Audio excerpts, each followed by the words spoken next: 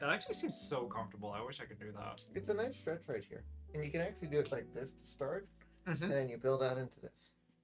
I can see that. God damn. Damn. Look down for two seconds. Joke's on you. I can look at. I can look down with one second.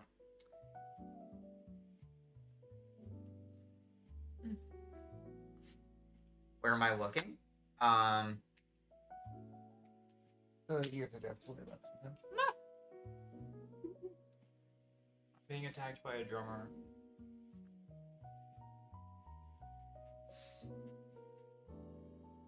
Honestly, by dancer standards, I am very, very inflexible. Um, let's see.